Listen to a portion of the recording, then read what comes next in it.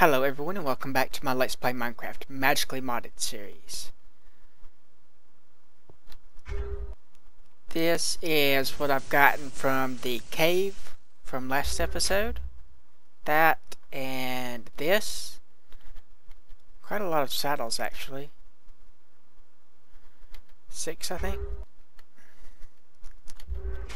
I spent, I think, end up four and a half hours in the cave and still haven't explored it all. I ran into a mine shaft and stopped there. And it's still all in that area too. Just weave back and forth. There was a ravine in the branch I didn't take from the start, and that led to a rather large area. Also, I've updated to a new version of RedPower 2, and in that version, uh, mossy cobble will spread to uh, normal cobblestone if it's not in direct sunlight and there's water adjacent to it. So what we're going to do is place a few mossy cobbles around here and see if it will spread around the underwater levels. Because I think that would look kind of nice for the wall there. And for today's episode what we're going to do is be building a docking station and launching station for this end of the Eats Road. I may do both ends, but I probably won't be able to do that all in one episode. If I'm not able to fit both ends in this episode, then we'll do the other end in the next episode. It's going to be a little bit more complicated, I think, maybe. Because it has a bit more constraints as far as size and stuff goes.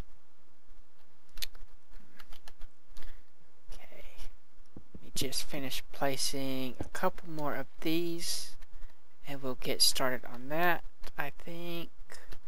Just do one more here and another one here and that'll be all. Not sure if they'll spread if the sunlight is on the side of them like this or if there needs to be some kind of overhang to keep it from spreading but I think as far as the block is concerned it doesn't have direct sunlight, but I'm not sure about that. I guess I'll find out after a couple hours. Over here, what I was originally going to have happen is have the boats kind of launch out in the air and then splash down to the Eats Road and go. I don't know if that's still going to be workable. Mostly you have the problem with the boat can't fit between these two blocks. And it might hit the bottom and break. Or it will hit the bottom, I don't know if it will break. There's also a size consideration. It will have to be longer if I want it to build up speed like that. I don't know, I am kind of enamored with the idea of flying through the air in a boat. So maybe we'll try something. I could change these out to glass panes and then the boat could fit in a short area but the trajectory would have to be pretty exact and I don't know, maybe I could remove the bottom, the ice bottom if it bobs up and down. It still might break if it bobs back up and hits something.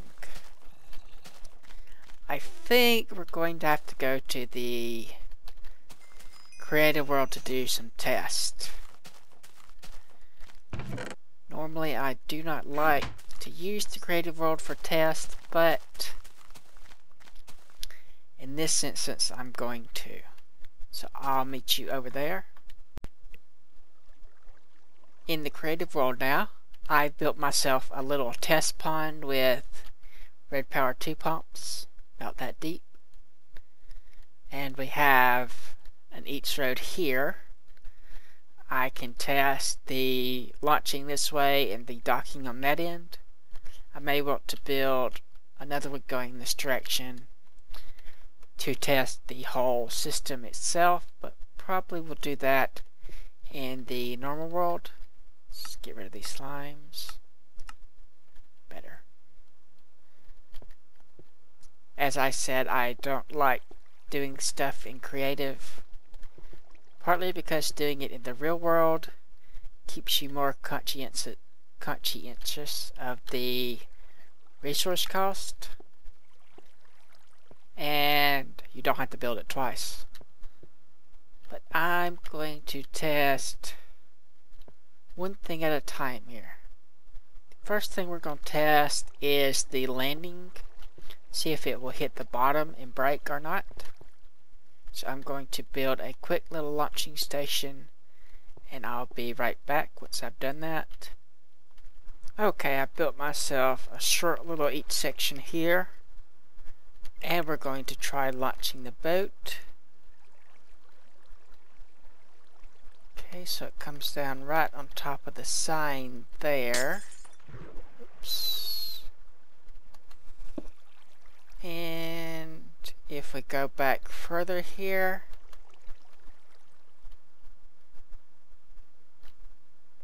it also comes down on top of the sign.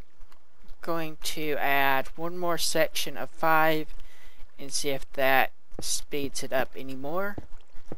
Right now it seems to be going about two blocks per y coordinate.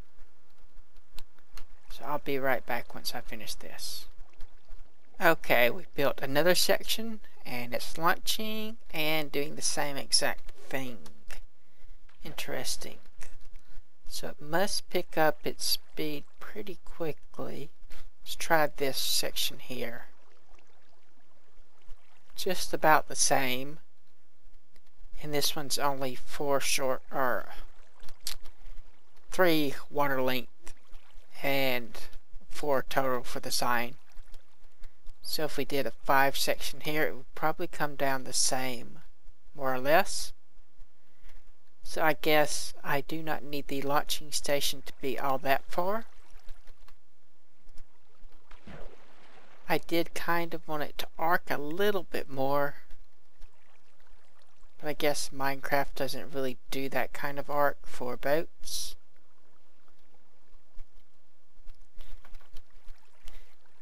Now then, let me see what we can try. I could try different heights, I don't think that's going to improve anything. First, let's try seeing if it breaks if it hits the bottom. Coming down on that sign is going to be a problem, so I'm going to move that, I think.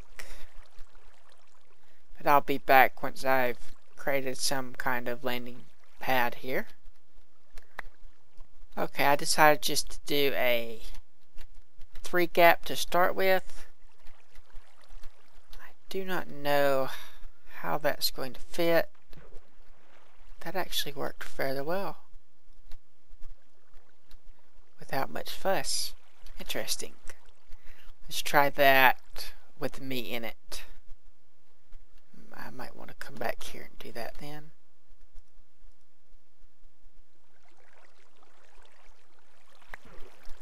Hmm. What did we hit? Maybe it's because we are flying? Let's try that again.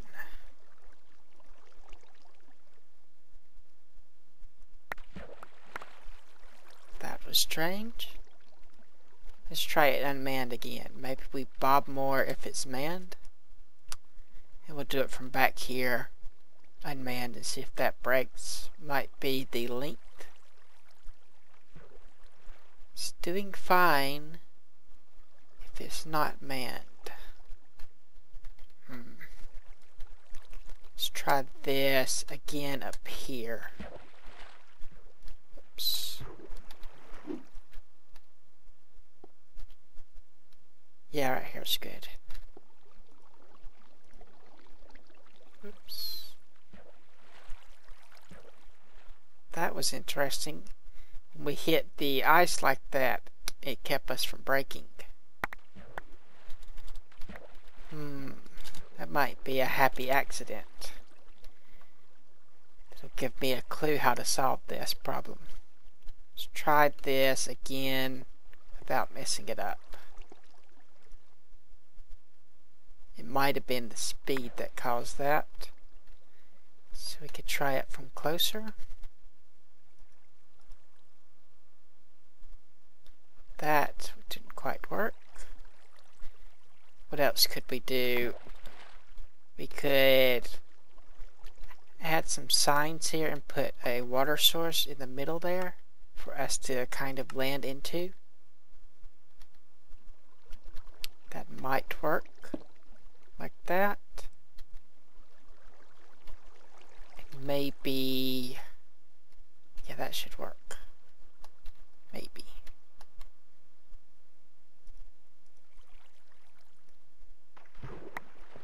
No, it looks like we're hitting this up here maybe. Let's try breaking these and replacing them with glass. We might be going slightly faster with it manned and that is causing the problem.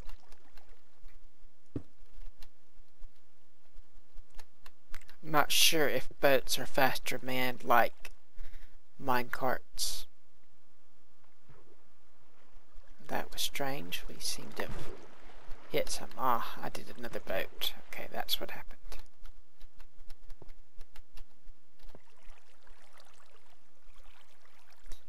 Now then. Okay, we are still hitting that. I think that water source is getting in the way, actually. Hmm. Some way to slow my descent some. Let me try that again and get a better look at it. Maybe I'll stop the recording and watch the film in slow motion or something. Okay, that time worked. Let's try that a couple more times. And if it works, I'll be back. If it doesn't work, then I'll keep showing it. Okay, here we are again. All those tests, I did it three times and didn't have any more problems. Going to try this again, but this time higher because there is a little bit of a bob when I was doing it from lower. Do want to see if hitting the bottom comes into play. Interesting, the arc seems to have changed for that height. Think it should be going further than that, or maybe I'm wrong. We'll break a couple more and put some more glass panes here. And that should solve any problems with that. We'll see if this breaks now.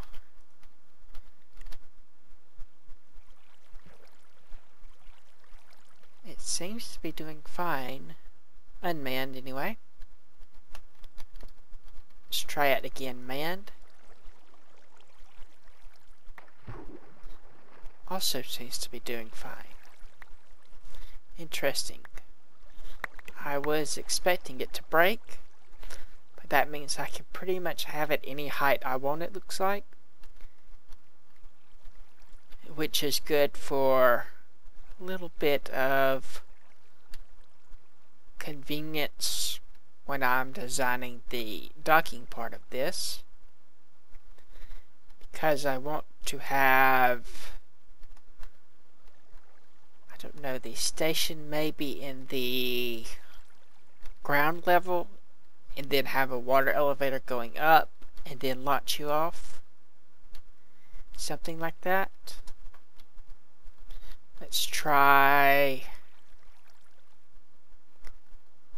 building some kind of docking station now.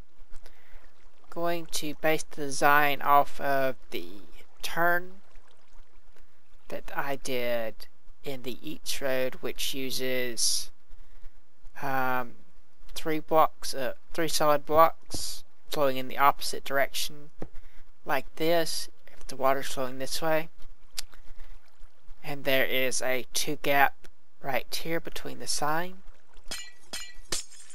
So, let me go look at that over here, I think it is. Yeah, right here.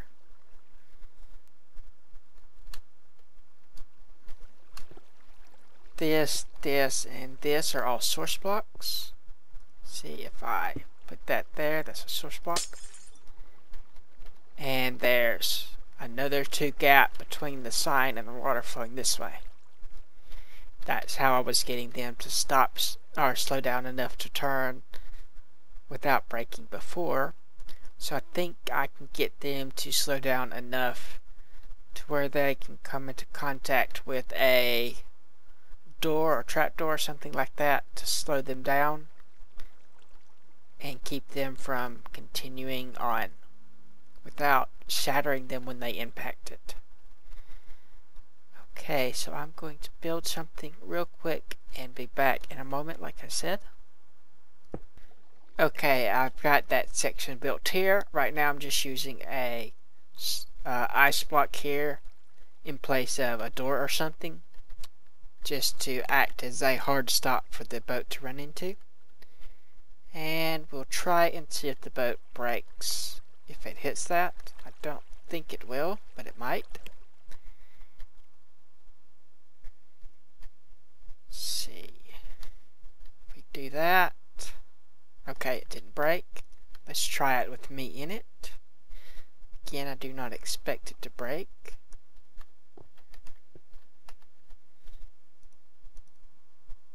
But boats are temperamental. And, okay, yeah, we slowed down nicely for that. Don't think that's going to be any problem. Now then, what I could do is have a sort of water elevator right here going straight up. I thought about it a little bit and I've decided to go with the water elevator method. All these are water source blocks. And this way I can have several boats in a queue here and just pull the top one off as I need it and that'll give me a bit of a buffer for the boats. One more thing we really need to do before we go to our Let's Play world is decide how we're going to launch the boats themselves. There's a few different methods I can think of to use. Doors, trapdoors, and pistons being the most obvious. So I'm going to build a little sample of each type and try to decide which one I like best. I want it to be easy to get in and out of the boat and it to have a, a it to be pretty reliable. So I'll be back once I've done that. Okay, I've set up a few tests here. First off, trapdoors. They do not seem to work at all for stopping it going uh, horizontally. But they do work well if you want to stop it going vertically. That's one way we could use those. Next up, regular doors. They work at stopping it, but oops, I think that's going to matter, but there. But you have to be going extremely slow because boats seem to be really fragile when it comes into contact with the doors. Let's try here. Oops. Break that. We had to slow it down very much before it gets right here. And that serves as a pretty good launch. Next up we have pistons. Pistons work really well because they can change the water flow. Imagine, for instance, this is the top of our water elevator there. Oops. Let's see. We can get the boat in here. We may not be able to. Unless...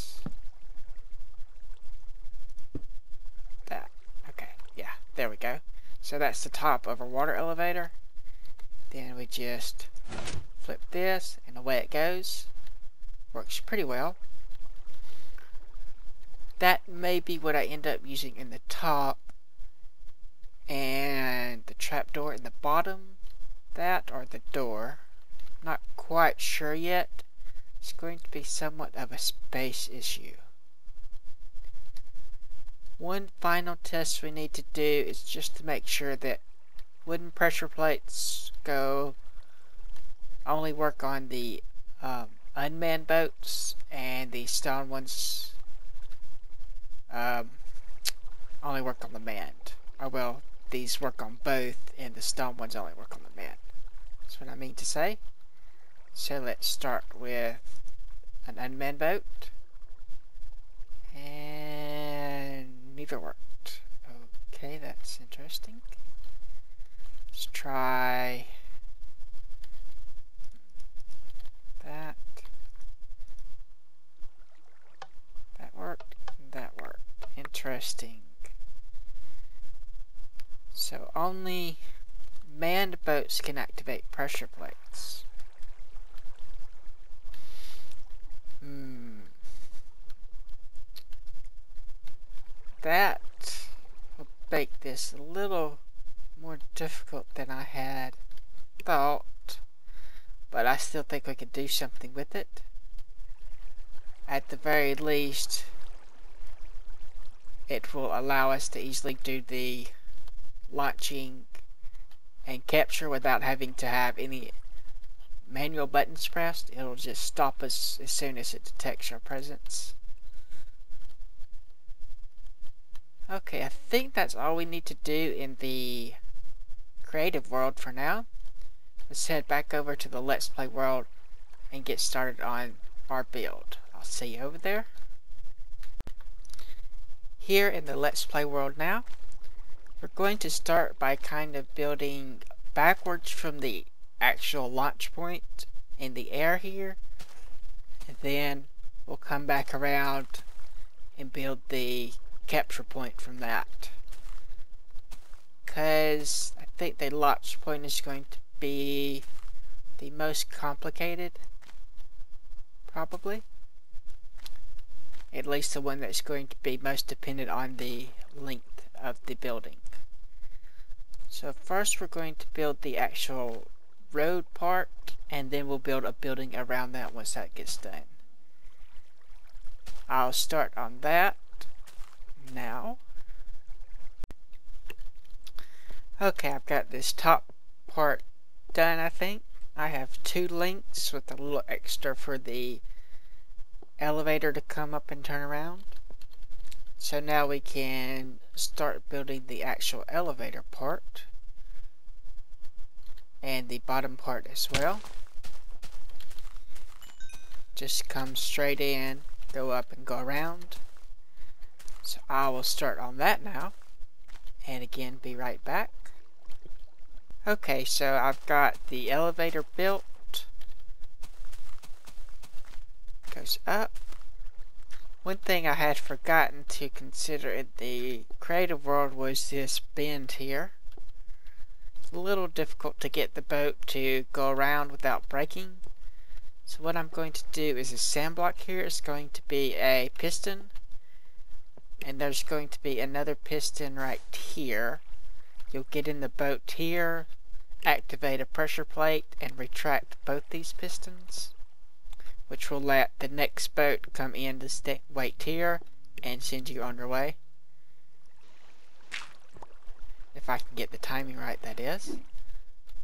So let's test the retrieving end with a few boats. Here. Theoretically, they should all work.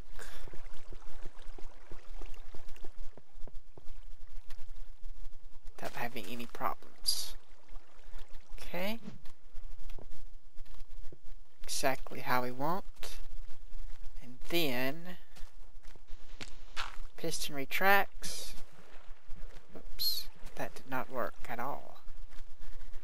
Hmm, maybe the other boats below it are causing the problem.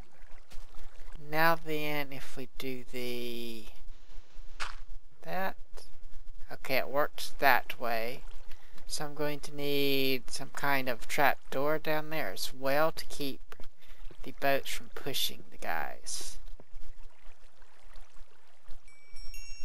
And we also know now where we need to land. Okay, I believe I have the circuitry for the top part done at least. So let's look at that.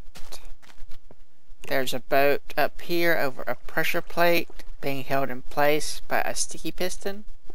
Another boat behind it also being held in place by a sticky piston and underneath that is a line of waiting boats being held in place by a trapdoor. When you get in that boat, it activates this circuit, which goes through a NOT gate, pushes down this piston and sends you on your way. It also goes through a set of two repeaters that is collect, uh, connected to an exclusive NOR gate, which goes up to this piston. This has the effect of retracting the piston once, letting the boat through, pushing the piston back up, cutting up the water, and stopping the boat when it hits the ground. Then it will retract the piston again, the water will start back again and push the boat on its way a little bit further. This will keep the boat from breaking when it runs into this block right here that this piston is pushing up. So let me demonstrate that part. Oh, and finally, the output from this longest repeater goes through a pulse former that is connected to this trap door to release another boat into the top part there.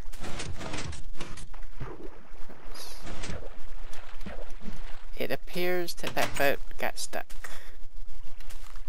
Let's check that. May have gotten stuck on something.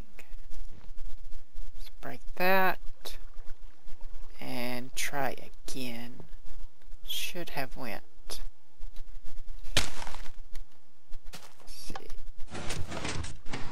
Alright, the button doesn't stay down long enough for that part of the thing to work.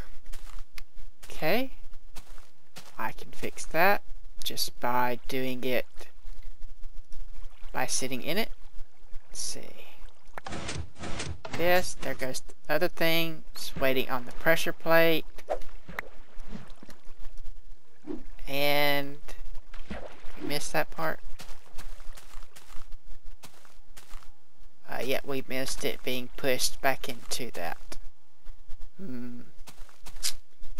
We'll try it one more time. If that doesn't work, you'll just have to take my word for it. Let's see. try breaking the boat up here once we get past this piston. There goes thing, then it goes again and gets pushed up against that block.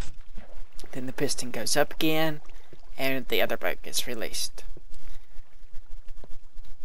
And I have room for several boats down here. One per level. So now all I need to do is do the bottom part right here. I think I'm probably going to have to change this up to have it another uh, slowdown section back further this way so that the uh, rider can get out somewhere around here because getting out right here would not be very easy. So I'm going to work on that and again be back shortly. Okay, I've got this set up now for the exit part. You just come in like here, hit these pressure plates, the door stops, and you can hop out. Then the boat goes along and goes into the queue. If there's an empty boat coming through, it just keeps on going straight through. The circuit's pretty simple, just a repeater hooked up to that line, and this pressure plate is hooked up straight to the door. So they are both powering the door. This keeps the door closed if you are going really fast, but it's probably not entirely necessary. It's just a little extra precaution. And now I can start actually building the building. I'm going to base it off the fishing hut because I kind of like the way it looks try to hide as much of this stuff as possible.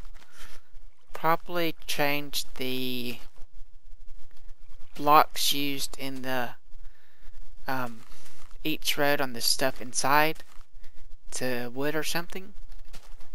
Have some stairs here.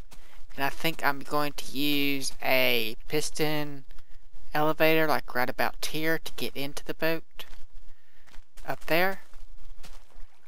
I'm going to start on that and I will see you again shortly. Lots of shortlies this episode. Well, it is finished. I've got the building built here and entrance for the output here with the zipper tower. Boat right here. Let's see if we hop in the boat, get along this way, and I'll be back to show the coming in. Heading back in now. We have two pressure plates here to stop us. And then if we just hop out, the boat goes on its way into the um, queue that we have set up. And then we have these doors right at the top of the stairs we can walk out. And that is that. So next episode we're going to do the boat launch for the other end. But that's going to be all for this episode. Thanks for watching and I'll see you next time.